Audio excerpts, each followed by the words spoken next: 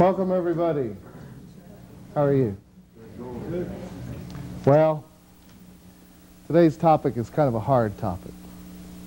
And uh, it's about um, the biggest tree in the world. You know what that is? The tree of sin. The tree of sin. We're going to talk about sin tonight. And uh, I know that's a topic we don't like to discuss, but we need to understand about sin. You know, actually, uh, we call the, the New Testament the gospel. You know what gospel means? It means the good news. Well, uh, also, there's a lot of bad news in the gospel, too. there's a lot of bad news. And uh, some of the bad news, the, the good news is there's a solution. But some of the bad news in the good news is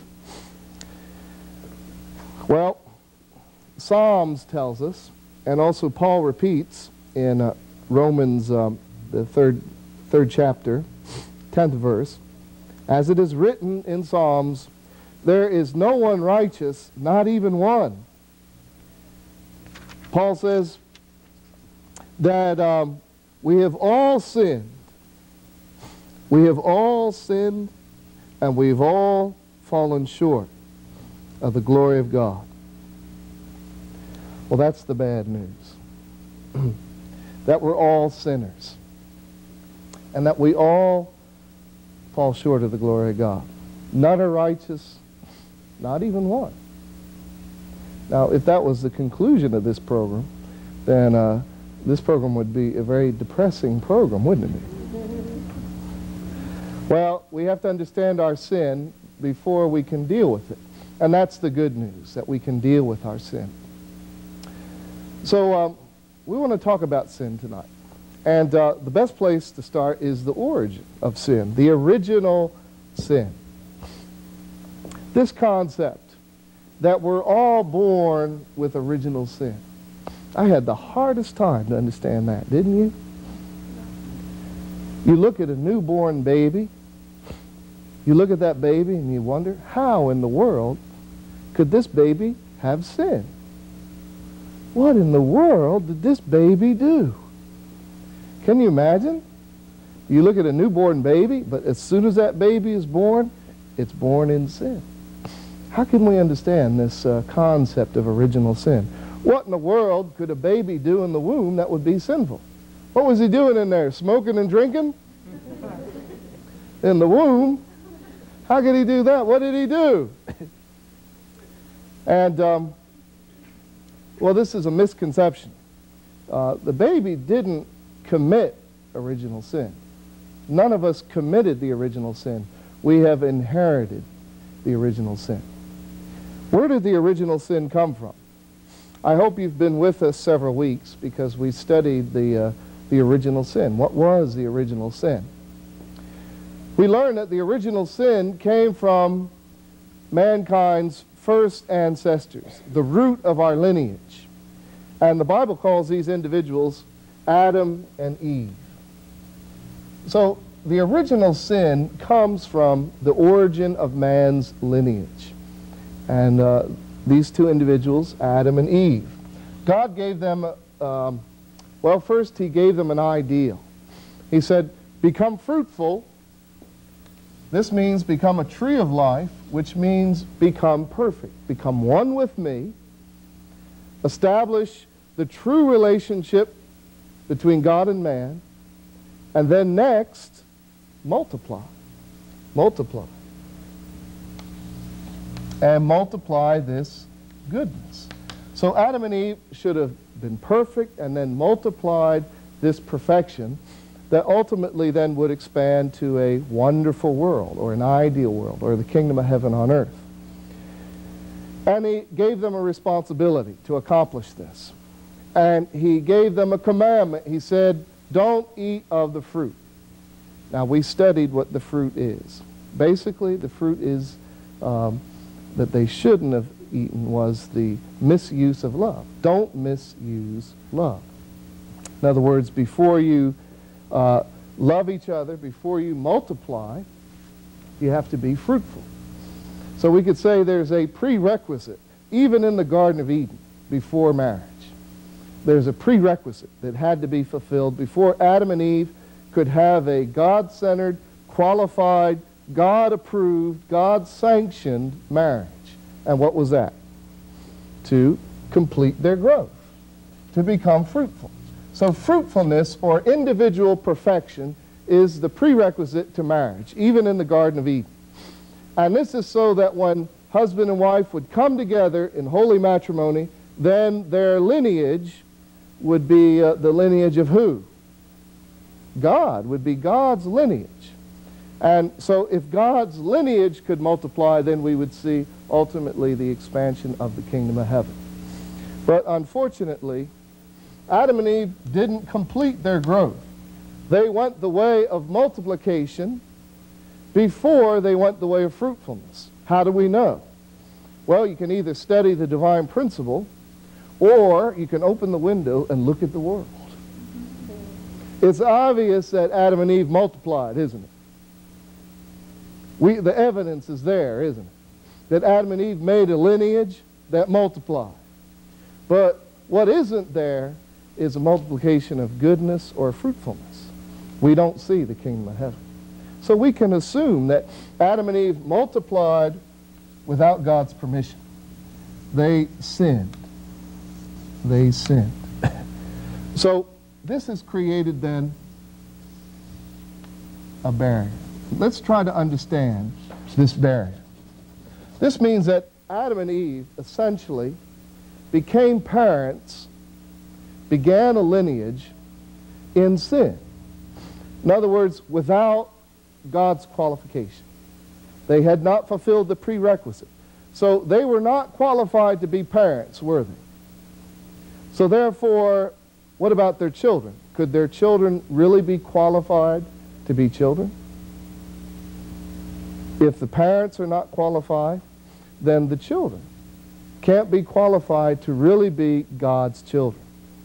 So Adam and Eve had children who weren't qualified really to be God's children. Therefore, no one could become a true parent. The, uh, uh the children of Adam and Eve could not go beyond this barrier. This barrier. This barrier is the point from which they fell.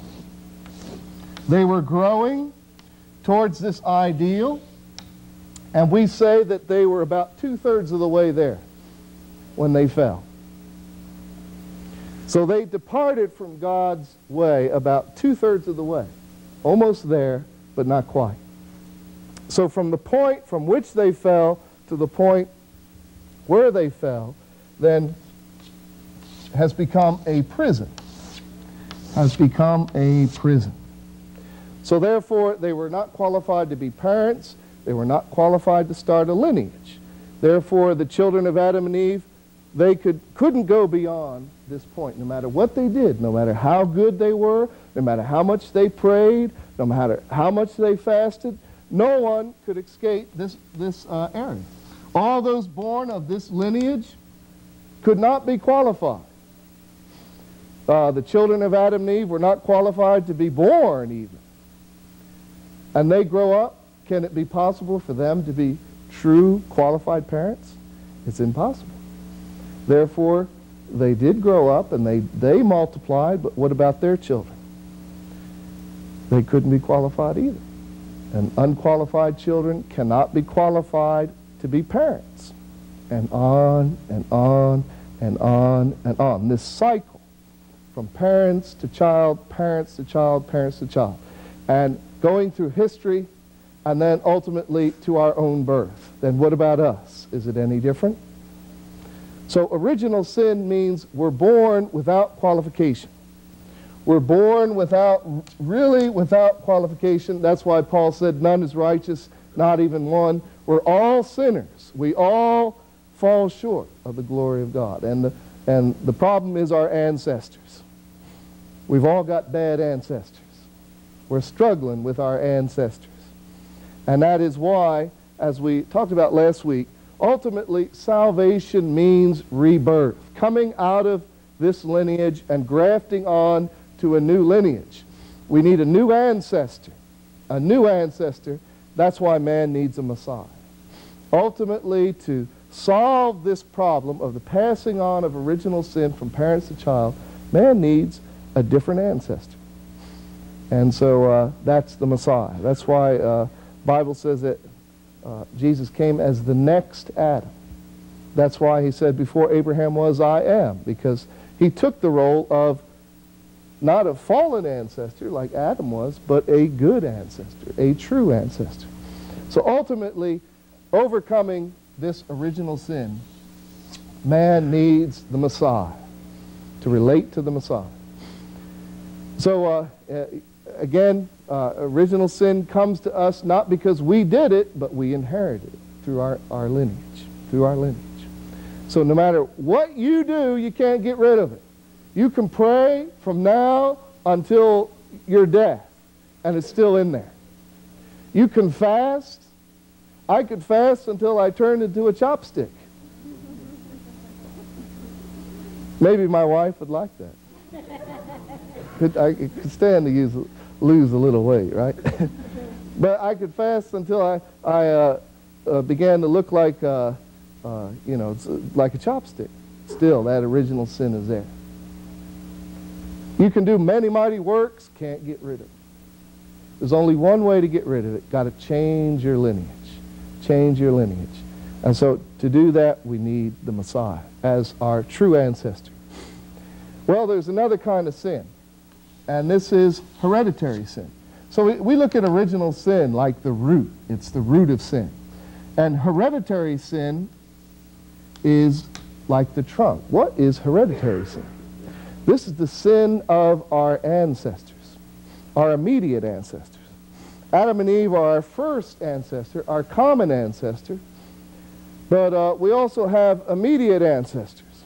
Uh, you know, your great-great uncles and great-great grandparents, your immediate uh, ancestral lineage. Uh, we are affected by what our ancestors did. And there's a lot of evidence to support this.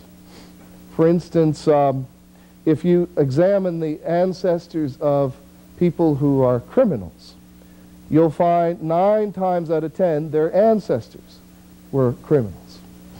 Or uh, if you look, um, if somebody uh, who is abusing their children, if you uh, examine their ancestry, usually they were people who were abused themselves. So there is an inheritance of sin through our immediate ancestry. And there's a shared responsibility. Uh, if your ancestors uh, committed sins, then the descendants have to share that responsibility. There's so much evidence to support that.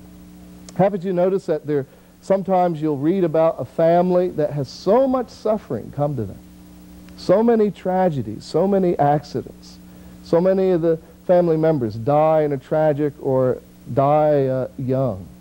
This is an indication of ancestral sin that is inherited through the lineage.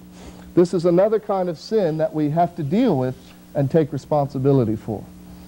Uh, in a lesser degree, it's similar to original sin. Original sin, the root, hereditary sin is the trunk. How about collective sin?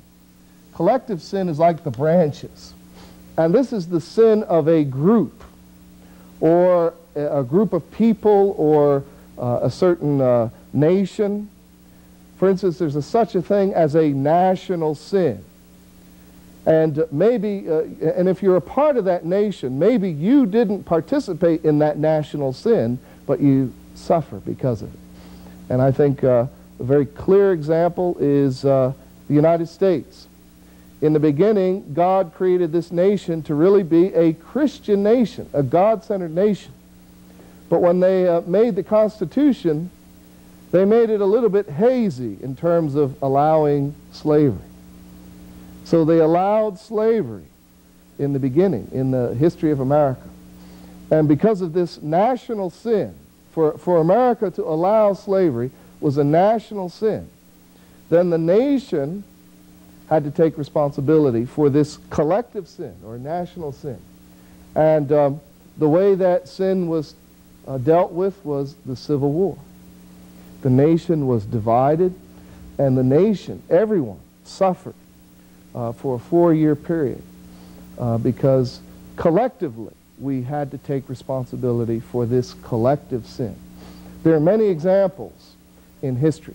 For instance, uh, because mankind didn't receive Jesus 2,000 years ago, then what is the history of Christianity? Uh, for instance, Christianity in Rome. What happened to Christians in Rome? They really suffered. They were fed to the lions. They had to go through incredible persecution and suffering because they had to take responsibility representing mankind for the collective sin of not receiving the Messiah when he came 2,000 years ago. So there are many examples of uh, a collective sin. Also, this is one we're very familiar with, unfortunately, and that's personal sin. Then we as individuals, we commit sin. What would uh, a good definition of sin be? Personal sin.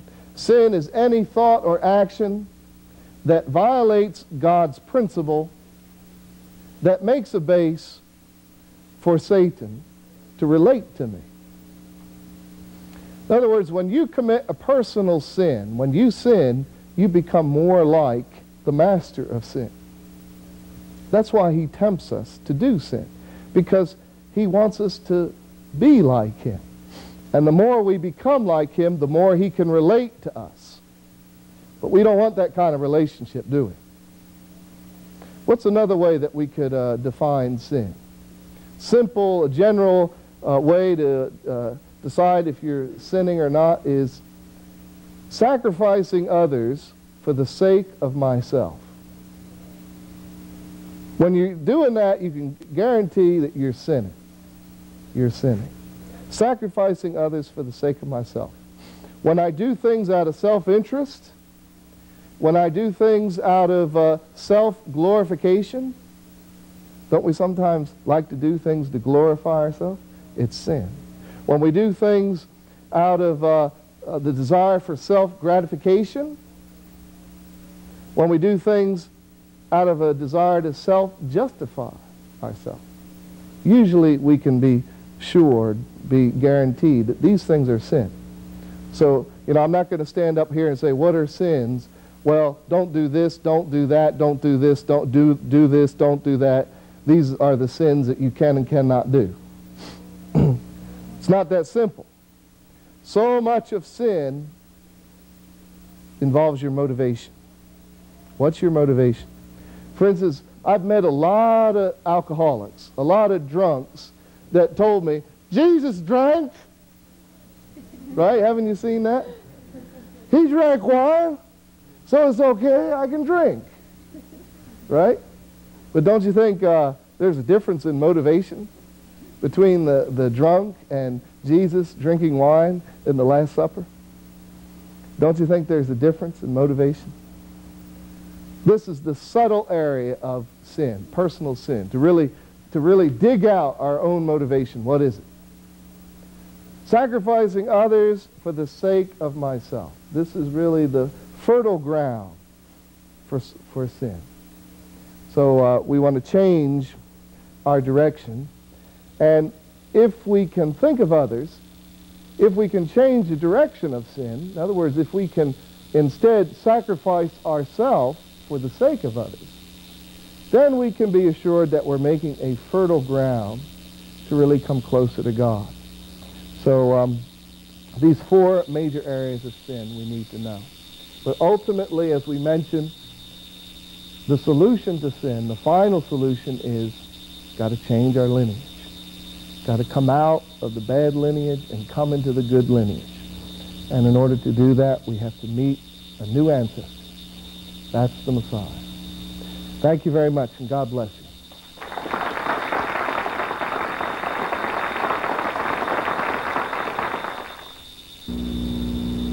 Here are the highlights from Reverend McCarthy's lecture on types of sin. First, original sin. Second, hereditary sin. Third, collective sin. And fourth, personal sin. Frequently there is a kind of um, false optimism which does not take seriously enough the fundamental derangement of um, human society and human being that goes back into the roots of our common human history, all of that being symbolized in the doctrine of the fall and the seriousness with which the unification tradition takes this symbol of the fall, um, to me is um, very valid and very important. The way in which, more particularly, the um, various aspects of human deviance from God's will are reflected in unification teaching um, is unusually comprehensive, it seems to me. Also, the way in which human responsibility for the fall and for the human plight is conjoined with a significant use of the symbol of demonic forces or satanic forces which transcend the human and responsibility for the deviation from God's will uh, imputed to both of those agencies, both um, pre-human or transhuman satanic agency on the one hand and also to human agency on the other. All of this seems to me to be um, uh, on the right track.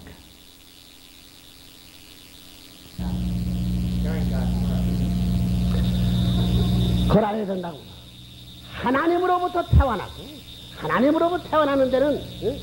뭐또 어떻게 되면 사랑에 태어났다. 다 하나님으로 태어나 태어나가지고 이 땅에 하나의 불적이 되지 않고는 하나님을 사랑할 수 있는 자격이 없다는 거예요. The, the qualification to be able to love God, first of all, in order to win that qualification, you must become a person that was born of God. That's number one. You have to be born of God. 아들 딸로 태어난 자. and born as his child, God's child, so that you are the extension of God's own lineage. That's the fir- first qualification. 너 어머니 아버지가 너를 사랑하고 너 어머니 아버지 사랑을 어떻게 하느냐 그건 설명하자고 아는 거야. Um, so, see, love really does not take too much explanation. Suppose your father and mother, they gave you a birth. You're born of your parents. All right. So, do they have to know the manual, how to love his own child and how to love my son and daughters, how to change the diapers? Does it need a great deal of manual to do that? Already, already a parent loves child. Simply because the child is extension of, extension of himself, is the direct lineage of the parent. 첫째 문제가 뭐냐면 내가 하나님 아들 딸로서 하나님의 뜻을 이어받아 태어난 아들 딸이 되는 거예요. So you are qualified to be loved by parent because you are direct blood line, the lineage of the parent. By the same token, in order to be able to be able to love God and be loved by God, you must become God's own lineage. 내가 태어날 때 하나님의 사랑 가운데서 무엇을 받고 났냐면은 생명을 내 생명을 받아라 받아가지고 We must be born of God, and in God's love, I was born and received life. 하나님의 Life 생명을 받아가지고 났다. and life that comes from God as a gift. 그래 뭘 하나님 같이 사랑할 수 있는 사랑을 어, 받아가지고 났다. And also we inherited, we received the capability of loving God as God loved us. In other words, we received that capability of love. 그 다음엔 뭐 하나님이 사 생활하는 것을 사는 것과 같이 우리도 생활하기에 태어났다. So we, also third, we inherited the right to live, or sustain uh, our life, enjoy as much as God wants to live. You know, by, by the same token, we inherited that right to live on in the manner that God lived on. 그러면 생명은 누구를 위해서? So then, the life, for whom that life was given, 사랑은 누구를 위해서? for whom that love, 살, 생활은 누구를 위해서? life and a li- way of life, for whom that way of life should be extended. 누구를 위해서? 누구를 위해서 이와 같은 것을 받아주느냐? For whom all those inheritances were given.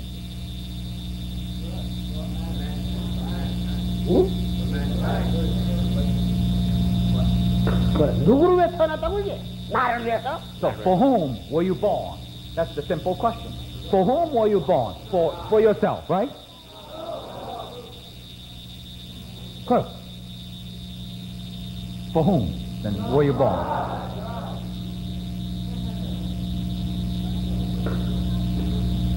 결국은 물어보면 나를 위해 태어난 하나님이 자기 나를 위해 태어나게 한 것은 하나님을 하나님이 다 하나님 공동 목적이 있어서 태어나기 때문에 결국은 내가 태어난 것은 나를 위해 태어난 것이다. 보다 사랑을 중심 삼고 하나님을 위해 태어났던 말이 the very, 사랑받기 위해서 태어났고 사랑하기 위해 태어났지. the very best answer that for what purpose I was born, there was a reason that I was created. And that God has that reason. So you didn't have that reason, so can, you cannot be born for yourself. God has a reason. So in order to fulfill God's ideal, you were born. In other words, for God you were born. To, to be more simplistic, to love God or to be loved God, you were born. 알겠어? Do you follow? 그래 태어났다 이야. That's the way, the, the, that's the very reason you were born and 나를 created. 위해 태어나 하나님의 사랑. 사랑을 위해 태어났다. 하나님도 나를 준 것은 사랑을 위해서 태어나게 하고 나도 태어난 것은 하나님의 사랑을 이루기 위해서 태어났다. I was not born for myself. I was born for love of God, as a fulfillment of love of God, as a fruit of love of God.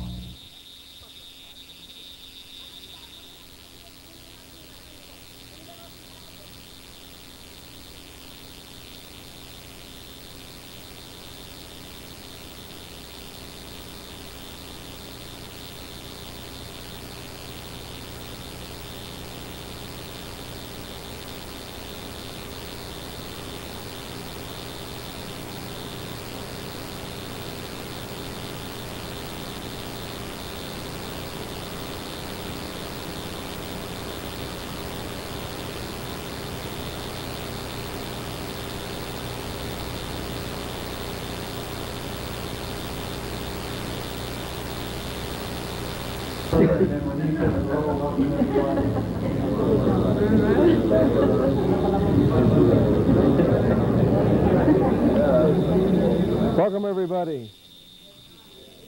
How are you tonight? Tonight we're going to talk about predestination. Predestination. And uh, there's a certain idea going around, a certain belief that's been around for many hundreds of years, that everything that happens is the will of God. That God is in complete control because he's almighty and therefore, every event that takes place takes place as a result of God's hand and God's will. Now, the most direct result of this kind of belief is that God is getting blamed for a lot of things that are not his own doing. So we want to take a look at this idea of predestination. And is it true that everything happens is God's will? And uh, when people believe that, then they begin to wonder, well, God, why don't you do something about this world? Have you ever wondered that? God uh, used to work miracles in the Bible, in the Old uh, Testament, New Testament era, but it seems like God doesn't do anything anymore. We don't see any miracles or burning bushes or anything like that.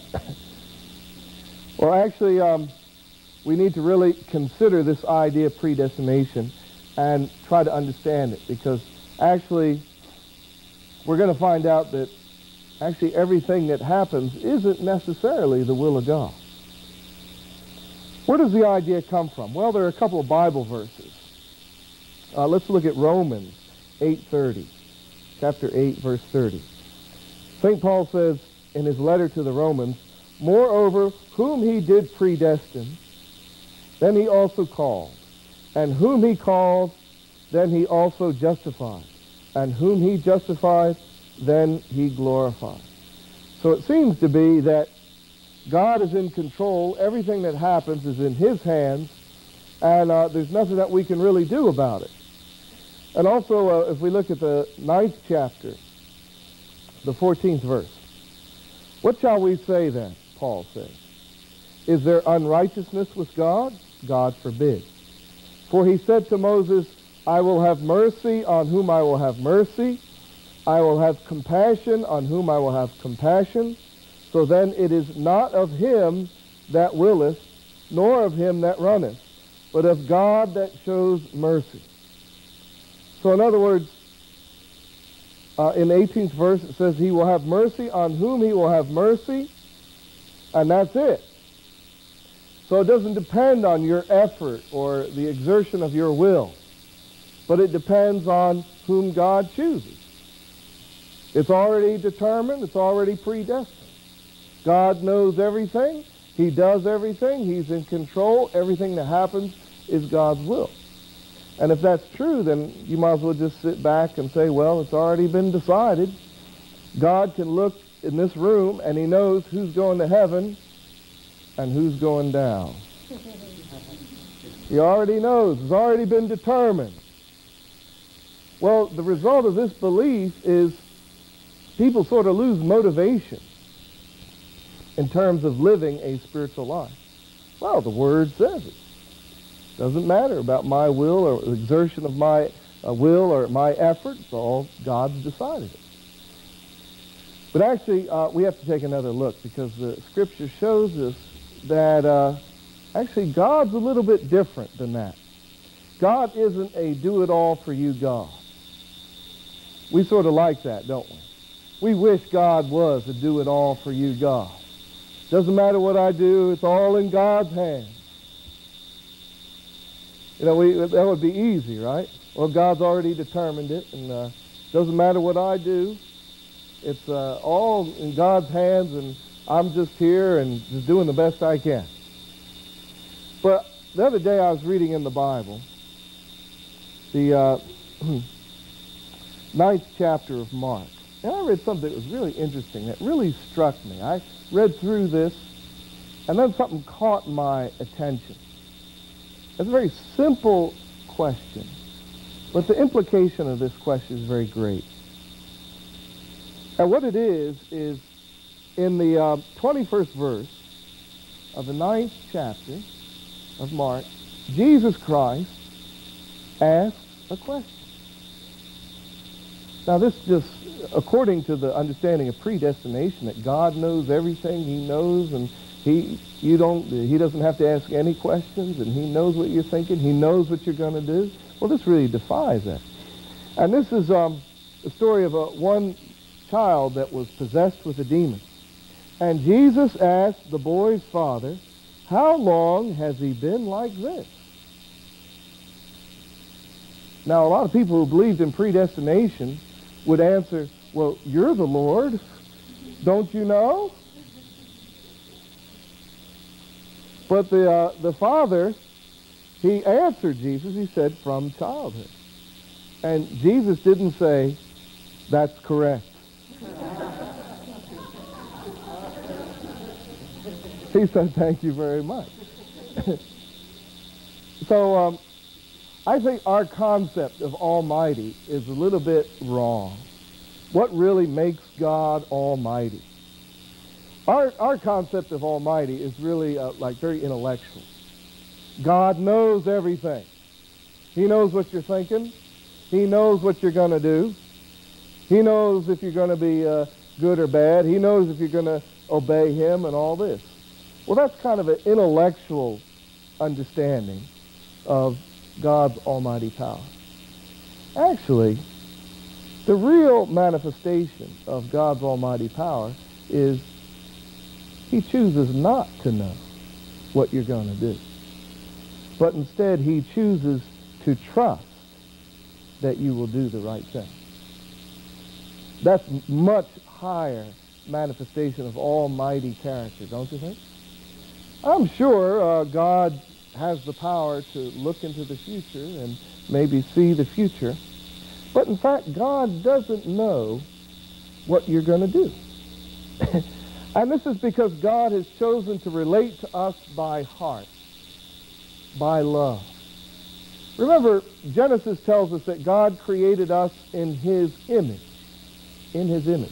That means he made us just like him. And because we're just like him, that means we're his children. So we have to understand, why did God create man? Why did God create children? Just for the sake of entertainment? Not at all. God created man and woman, his children, for the purpose of love. God wants a love relationship with his sons and daughters. So one thing that you'll learn very quickly about love is that the basis of love is trust. The basis of love is trust. So the relationship between God and man is hinges upon trust. Trust. There has to be trust. Uh, if you're uh, married or uh, engaged, one thing you better learn quick is you got to trust each other. Haven't you seen relationships where they don't trust each other? The wife goes out and the husband wants to know, where are you going?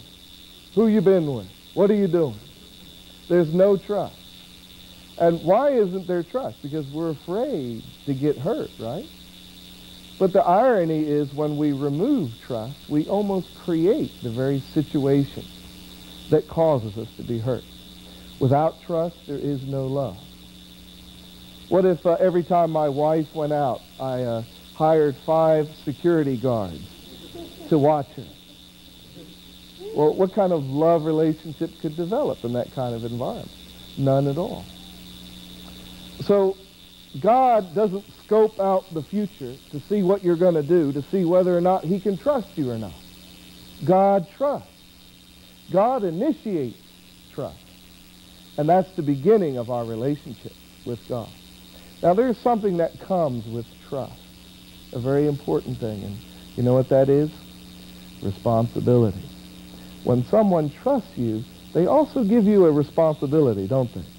And that is that you will be true to this trust.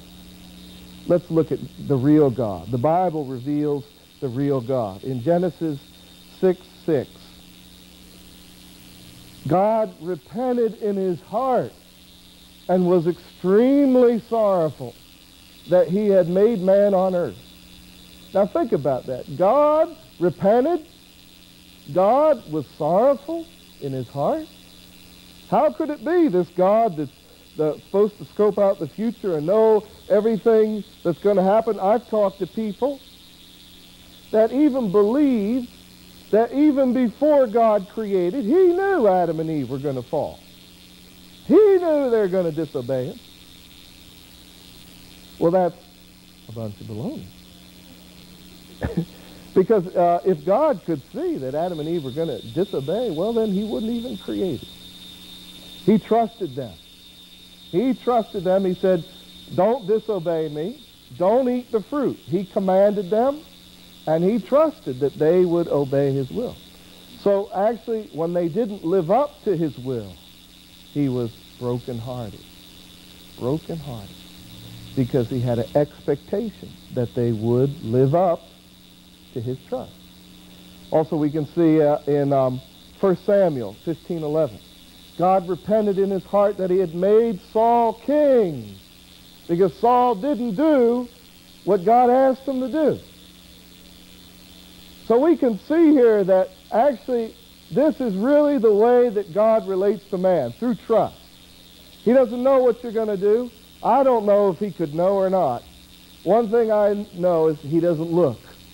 He trusts. He trusts. He believes in us. And as a result of that belief, then we have a responsibility. Man is created then as a responsible being. God has placed in our hands a responsibility. And you know what that is? To trust God. to have faith in God who is having faith in us. And we can see that in the very beginning with Adam and Eve. God gave them a commandment. He gave them a commandment. Do not eat of this poisonous fruit. On that day you will surely die. And he gave them the responsibility to have faith in that commandment. Unfortunately, They didn't fulfill that responsibility, and as a result, God's will was not accomplished. So here's a very interesting thing that we're seeing. Is actually God doesn't have total control uh, over the accomplishment of his will. If he did, the kingdom of heaven would have been here a long time ago. Next time uh, you look at this world and you get angry at God and say, why don't you do something about this world? Then God will answer you and say, if I was in total control, this world would never have been like this. We have to now be awakened to the fact that God's will is only accomplished when man fulfills his portion of responsibility. We say that in terms of uh, the accomplishment of God's will, which is the kingdom of heaven on earth, God does 95%.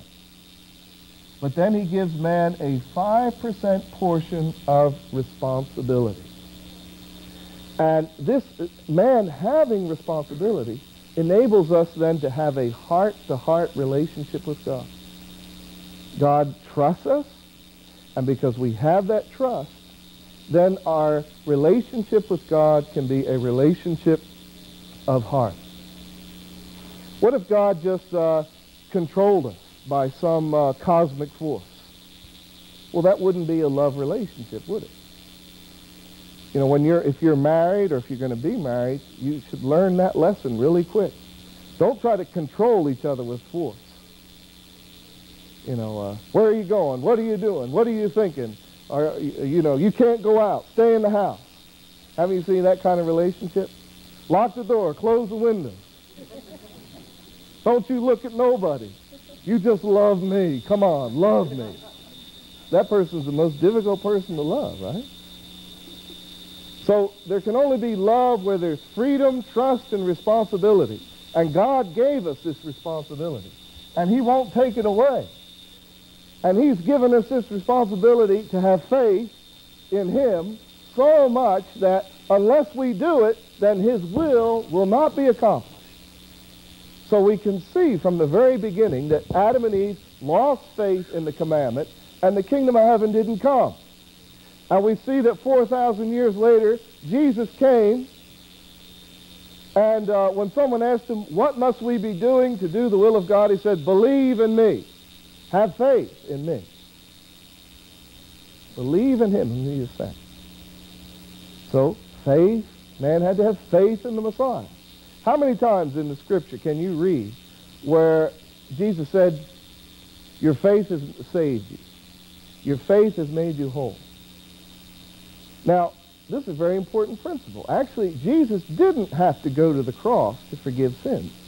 He could forgive sins on earth. He said the Son of Man has the power to forgive sins on earth based on what? When people would make a condition of faith. The woman who touched his robe, that your faith has made you whole. So your sins can be forgiven when you demonstrate faith in the Messiah. So faith, got to have faith. In Luke 18, 8, Jesus says, when the Son of Man comes again, will he find faith on earth? That's what determines whether or not God's will is accomplished, whether there is faith. So when God's will will be accomplished in your life when you have faith in God, when you trust in God. So God is doing 95%. You know, God has created the heavens and the earth. God has created our spirit and our physical body.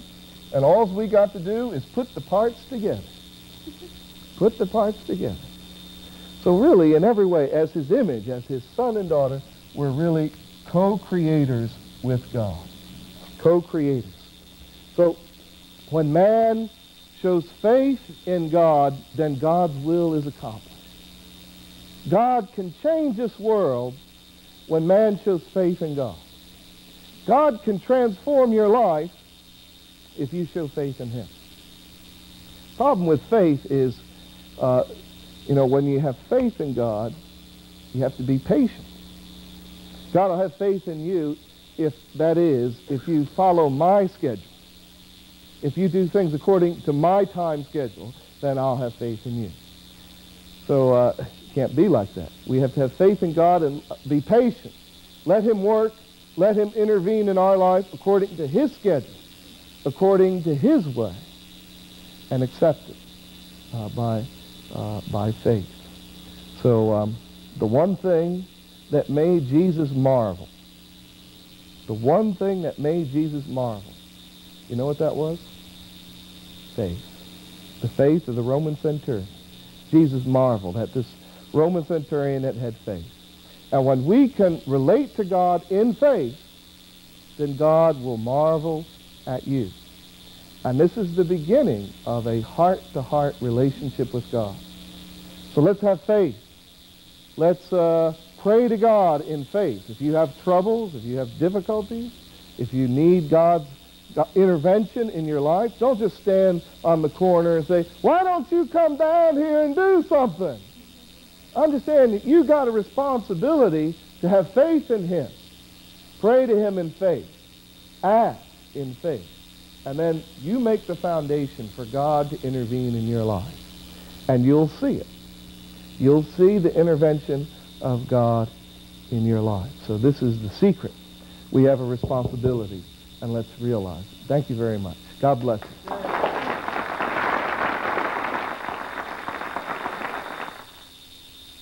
Here are the highlights from Reverend McCarthy's lecture on faith and responsibility. First, God created us to engage in a love relationship with Him. Second, trust is the basis of love. Third, His trust is manifested by giving us responsibility. Faithfulness is our responsibility. Fifth, God's will is accomplished only when this responsibility is fulfilled. And sixth, all events are not predestined. We have to remember, when we look at man, that God so loved man, he created him in his own image, and he sent his only son as a man to die for us. And I think this is something that, that must be emphasized. The place of God cannot be denied, for God is paramount in all of our feelings. But also what's important is realizing the process of relationship between God and man. Man has a dignity, and that dignity is so great that God descended that uh, God decided that his only son would descend upon this earth as a man. We know God by knowing Jesus, and we know Jesus through his humanity. The whole idea of history, that thing in which humanity is involved, is a process to gain restoration through our own responses to our loving God. And within this configuration, I, I, see something very beautiful being said. And that has to do with the dignity of man, the intrinsic worth of the individual. And it's the idea of man and God in cooperation with one another to eventually be joined in a, in a divine paradise that's at the heart of Christianity. I think in many instances, religious people have a tendency to debilitate the idea of humanity. And there are problems in terms of secular humanism. But the spirit and idea of humanity itself is a divine thing that we can't forget.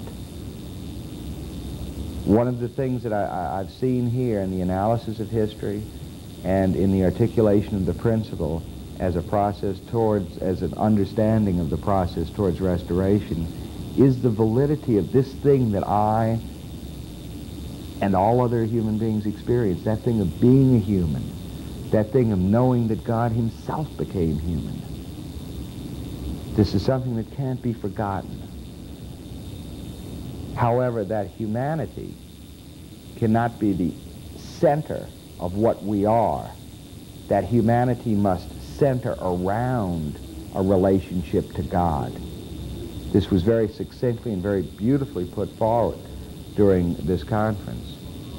And, and, and very clearly done, too, because I think that uh, this is what we're working with, a process that requires relationship. Relationship of the human being to the divine, with God as the center of that relationship. With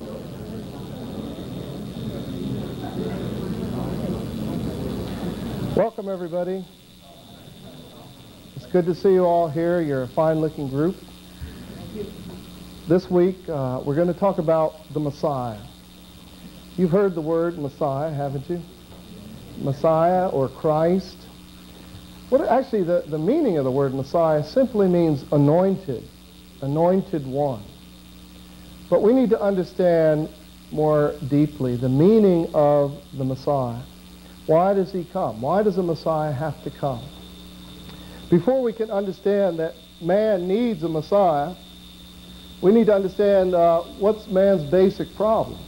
Last week we talked about the root of sin. We, we mentioned that God had an original plan for man that was not realized.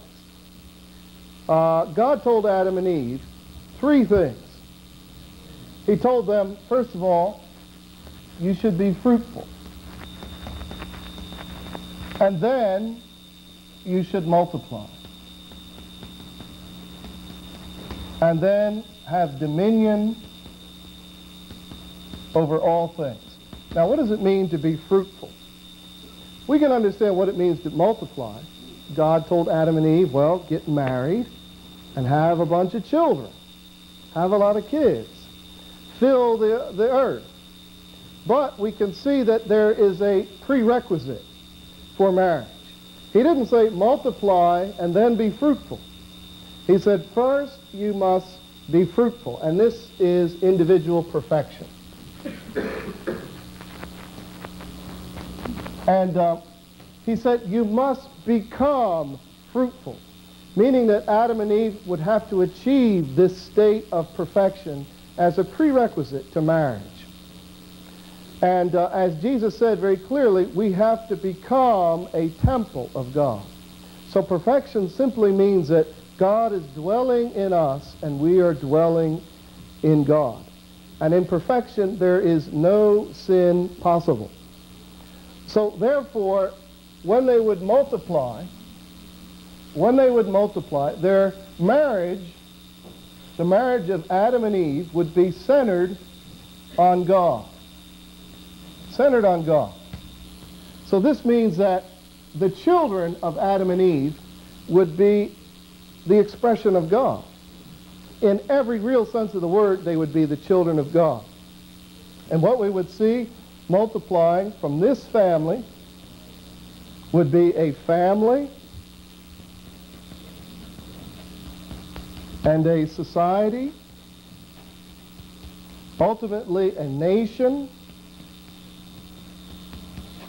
and an entire world would have multiplied from this original foundation of goodness centered on God.